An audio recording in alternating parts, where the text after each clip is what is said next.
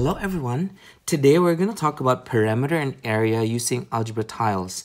So um, perimeter, just an introduction on this. Uh, perimeter will give us an idea on how to combine like terms and the area that we have here will be used in the next lesson that we're going to have where we are going to factor using area as a product and area as a sum. I will put the link of that video in the description box below and I will put that link of that video also up here where again we use the area to factor using the concept of area as a product and area as a sum.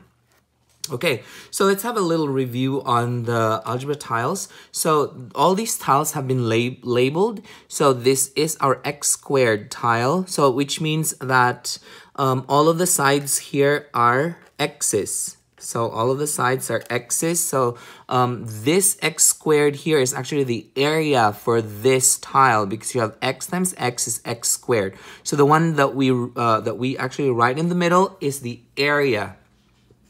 And these ones right here are the measures around it. So this one right here, since the area here is x, because uh, this is actually x here, and this side right here is 1. And then, so we have x times 1, the area is x. Here, this is one unit right here. So um, most of the, most of, in the textbook that we have, uh, they don't write 1 over here, but um, this small tiles right here, or these small squares, uh, will have actually a measure of 1 because the sides here would be 1 and 1. Okay, so let's go into the, let's jump into the first one right here. Again, we are supposed to determine the perimeter and we determine the area of these given tiles. Again, perimeter will give us a, will give us an idea on uh, combining like terms and the area will give us an idea. We're going to use it, the concept of area, we're going to use it in um, factoring using the area as a sum and product. So let's take the measures for this. Let's take the, uh, let's find the perimeter first.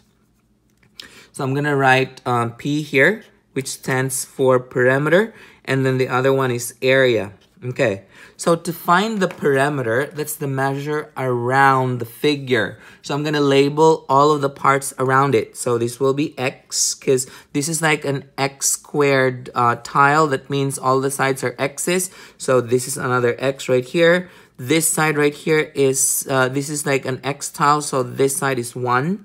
This is 1, this is x, this is another x. Since this is a 1 unit tile, so that means this is 1, 1, 1, and 1 here. This is another 1 and 1. This is an x tile, so this side right here is x, this is 1. So all of this would be 1s here. Now this side right here is an x. So that is an x squared. So we labeled everything around it.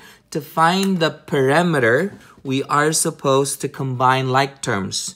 So first, we're going to count all the x's. I will use red for the x's. So that would be 1, 2, 3, 4, 5, and 6. So I go around, I count the, the number of x's. Because again, the perimeter is the measure around the figure. So we, we, we go around it, we, we add all of them. So there are 6x's, so I write 6x, and then I'm going to count all of the ones. I combine them all together, so that would be 1, 2, 3, 4, 5, 6, 7, 8, 9, 10, 11, 12. So the perimeter of this picture right here can be represented in an expression 6x plus 12. Okay, so this is the perimeter. Now let's find the area. To find the area, we remember that the number inside the tile is actually the area. So this time around, we count all the areas. We're going to combine them. So we actually could see um, two, two x squared tiles. I'm going to write 2x squared. So there are 1 and 2. Let's count the x's. So that's 1, 2, 3, 4, 5, 6, 7, 8. So plus 8 x's then let's count the, the ones. 1, 2, 3, 4, 5, 6, 7, 8. So that is a plus 8. And this is the area for this um, picture or for this rectangle right here. Now, at this time, I would encourage you to pause this video and try this problem out on your own. And when you're done, and pause it and check your answer. Okay, so let's go over this. We're gonna label the parts first. So this would be X, this is 1, this is X, these are all 1s over here. That's 1 and X, and this is 1, 1, 1, and 1, and this is an X. So then the parameter for this, the expression to find the parameter would be we count all the x's, so that is 4x, 1, 2, 3, 4. So 4x we count the, the ones. 1, 2, 3, 4, 5, 6, 7, 8, 9, 10. So 4x plus 10. This is the expression to find for the parameter. Now let's find the area. The area again is we combine like terms inside. There's only one x squared. So just I'll just go ahead and write x squared plus I count all the x's. One, two, three, four, five. So there are five x's and then I count the ones. One, two, three, four. And that's a plus four. This is the expression to find for the area. Did you get the same answers as these? Good. Perfect. Now let's move on to another example right here. This next example is pretty, um, there's a little trick on this. Uh, it's different from the other ones that we did.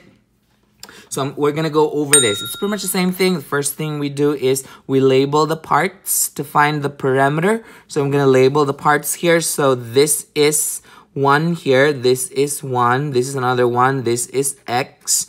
This is 1 here. This is x. This is 1 and 1. This is x. This is 1. This one right here is also a 1. Now, the problem here is, what is this part right here only? It doesn't cover everything. Others are going to think that, oh, that's an X right there. But remember, we are only looking at this highlighted part. It's not the whole thing. So if there are some covered parts, what we do actually is this whole thing, we know that it's an X. So others have thought that, oh, that's an X right there. So we know that but it, it, it stops here. It starts from here all the way here. So it doesn't go all the way. And we know that this is a 1 and this is a 1. So how do we express this? This would be x minus 2. So if the whole thing was x, we subtract two parts of this. So that's x minus 2. So then to find the parameter, so to find the parameter here, we add all the x's. So this would be 1, 2, 3, 4. So that's 4x. And then we count all the ones. So that would be 1, 2, 3, 4, 5, 6, 7, 8. So we, we start again over here. 1, 2, 3, 4, 5, 6, 7, 8. So that's plus 8. And then we still have a minus 2 over here. So I go ahead and write minus 2 right there. So then the parameter would be 4x, 8 minus 2 is 6. So this is the parameter of this, um, the parameter of this picture. Now let's find the area. The area is pretty much the same thing. We just have to add the ones that are inside. So the area right here is actually x squared. So we only have 1x squared. Then we have two x's. So plus 2x. Then we count the ones. So one, two, three. So that's a plus 3. So this is the um, expression for the area.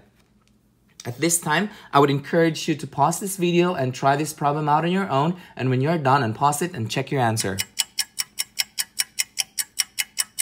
Okay, we go over the problem here. So again, this is x x, 1, 1, 1, and 1 over here. And then this is a 1 and this is an x. Now, I know others have figured this out already based on the example that we have over there.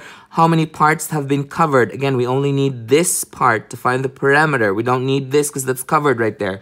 So it's not, it's not on the outside. So that means this is x minus 1 because there's one part covered. It's different from here because there were two covered parts. There's only one covered part, so the x was covered one time. So then we can find the parameter by um, adding all of the um, all of the uh, x's first. So this would be 1, 2, 3, 4. So that's 4x. And then we count the ones here. 1, 2, 3, 4, 5. So that's 4x plus 5. We still have a minus 1. So then the final answer for this is 4x plus 4. Did you get 4x plus 4 as your answer? Good. Perfect. Now let's go over, uh, let's find the area. So to find the area, all we need to do is just to add them all up. So this would be x squared. There's only one, so that's x squared plus there's also one x. So just write x. And then there's a one tile right there, one unit tile. So that's x squared plus x plus 1. Did you get the same answer as this? Good. Perfect. If you find this video helpful, hit like and subscribe for more math videos. See ya!